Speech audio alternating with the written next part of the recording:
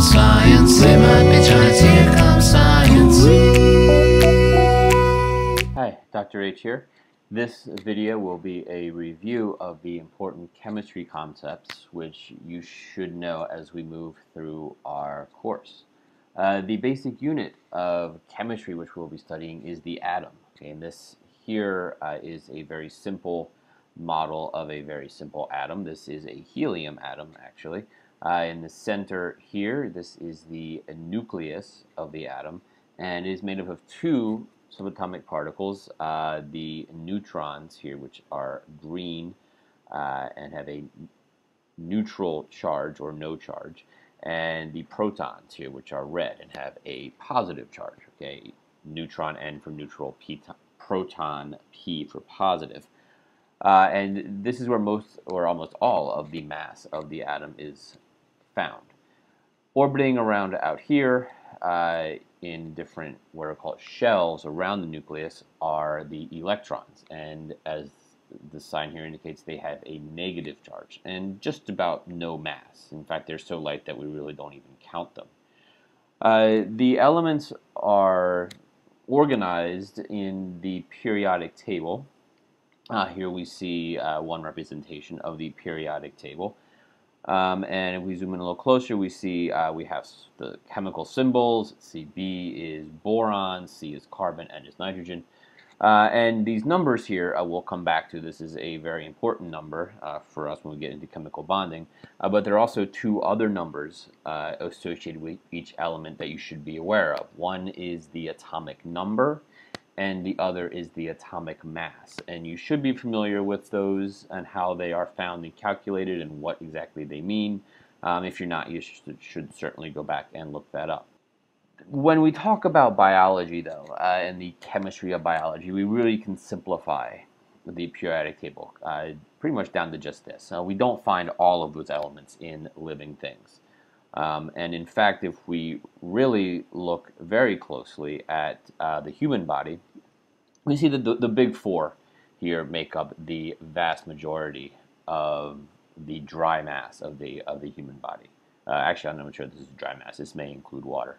Uh, the oxygen, 65%, uh, carbon, uh, almost 20%. So there you have almost 85% of your body is made up of these two elements, and then hydrogen and nitrogen, uh, fairly large, fairly uh, large amounts uh, in compared to the other minor elements here. Uh, certainly, calcium and phosphorus will be found in the bones and the teeth, uh, sulfur in some proteins, uh, sodium and chlorine. Probably most of those are found together in the form of salt. but these four: carbon, hydrogen, oxygen, nitrogen are the big four that we will be uh, concerned about in terms of biology. So when you look at an atom, uh, the electrons are arranged in these kind of shells, these rings, and this is uh, one just way to look at it. This is an argon atom. Argon has three shells of electrons, uh, and these shells have certain numbers of spaces for electrons within them. Uh, the first shell here has two spots for electrons, so it can hold two and then it's full. And then if you want to add the third electron, it has to go out into the second shell. And that shell can hold up to eight electrons, and the third shell can hold up to eight electrons. And if you notice, argon here uh, has eight electrons in its third shell, so its third shell is full. Uh, that means that this atom is, this element is unreactive. The reactivity of the elements is mainly determined by the number of electrons in the outermost shell here. If we contrast that with something like carbon, carbon has six electrons, two in the first shell and only four in the outermost shell.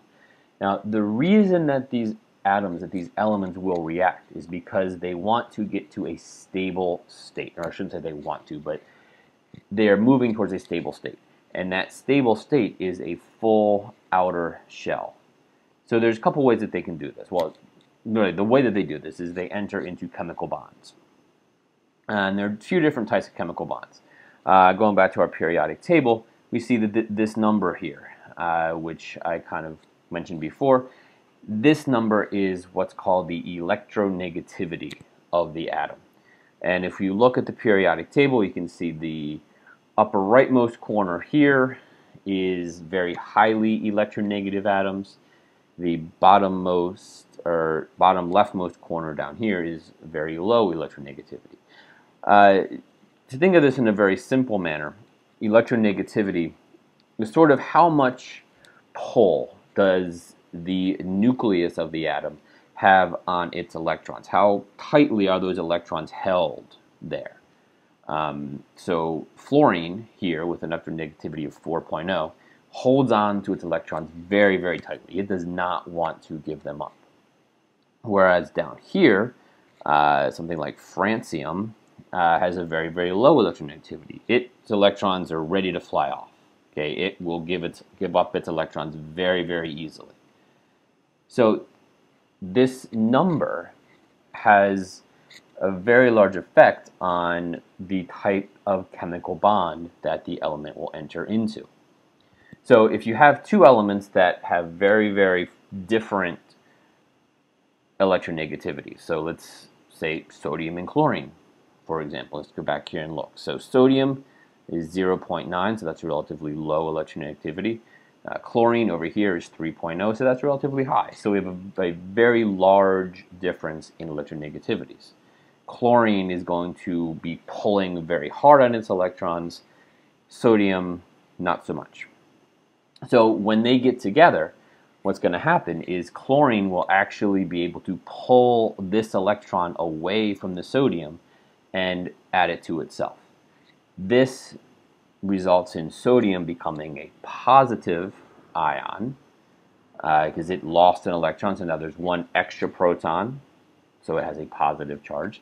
Chlorine now becomes the chloride ion because it because it now has a negative charge because it gained a negative electron.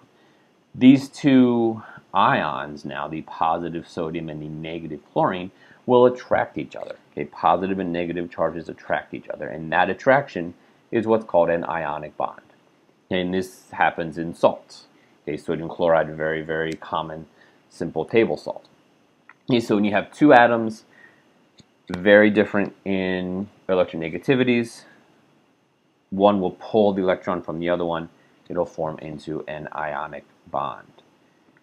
What if you have electronegativities that are very similar or even exactly the same.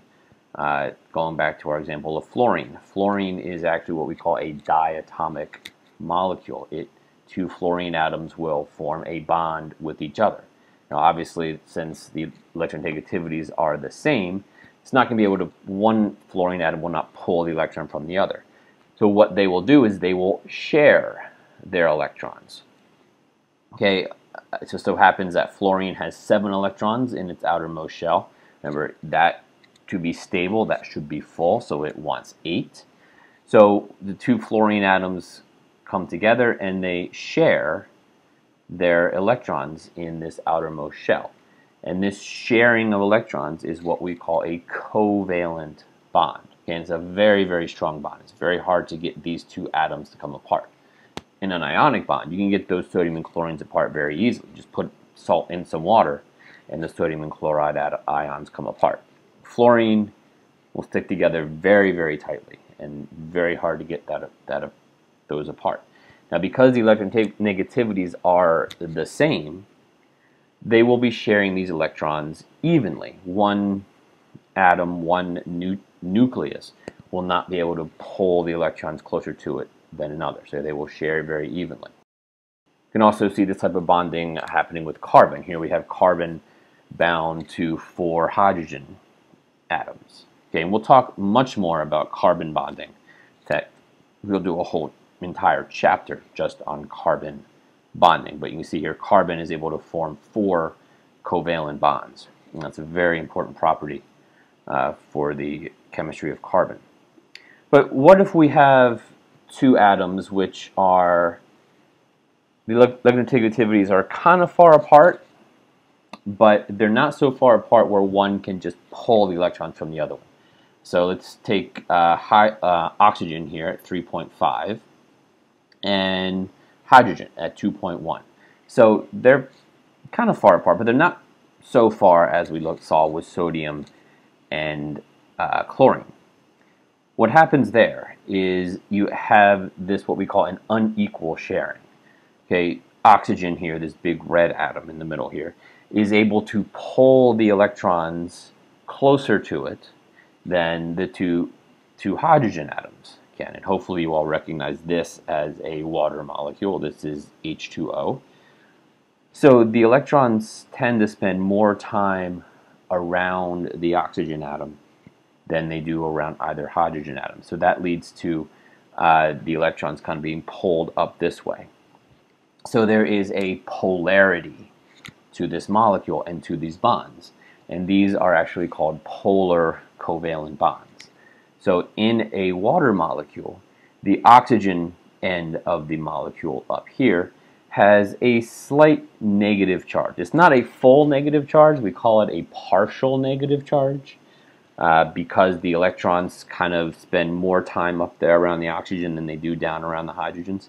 And that means that the hydrogens here, these ends, have partial positive charges to offset this partial negative up here. What that means when you get a bunch of water molecules together, they will arrange themselves in a certain orientation. Okay, so here we have a water molecule.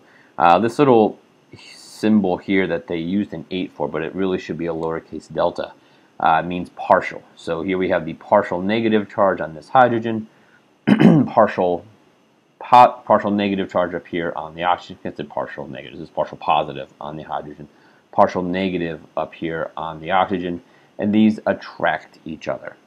Okay, and this bond right here is called a hydrogen bond. Very, very important type of bond in chemistry and in biology. And water is a very important molecule. Yet there is a whole chapter on the chemistry of water and why this, these bonds are so important and all of the important properties that arise because of these hydrogen bonds. And these hydrogen bonds form not, not only in water, but anytime you have a polar covalent bond. So two atoms bonded together with electron, electronegativities not quite far enough apart where it forms an ionic bond, where one atom can pull the electrons completely away from each other, but it is strong enough to pull the electrons more towards itself. So they're still sharing. Okay, this is still a covalent bond. The electrons are still shared between the oxygen and the hydrogen, but oxygen doesn't share nicely. It takes the electrons more. A very important concept which we will be coming back to quite a bit in our chapter on water. Okay, so that is the end of the review. Uh, hopefully this helped you guys out. If there's anything you're not sure of, I would definitely go back and look at the chapter in the textbook.